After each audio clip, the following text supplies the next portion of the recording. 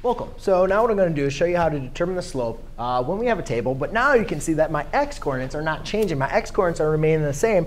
Every single x-coordinate is always 3, but then they have different y-coordinates. So remember, determining the change in my, um, to find my slope, I need to find my change in my y-coordinates over the change in my x-coordinates. Now, remember, we can pick any two points that we want to. And you know what? I'm going to pick this coordinate point and this coordinate point. So to find the change in my y-values, I go from 2,000 to 5,000. So to find the difference or the change, I'm going to subtract 5,000 minus 2,000. That's going to be the change in my y-coordinates for these two points. Then to find the change in my x values, I need to do the same thing. Well, 5,000 minus 2,000 is going to give me 3,000.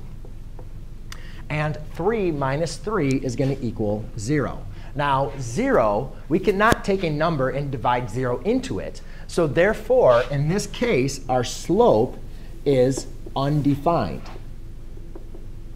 All right? It's not 0 because um, 0 was when we were dividing a number into 0. But when we're taking a number and dividing 0 into it, it's going to be an undefined slope, which will produce a vertical line at our x-coordinate of 3.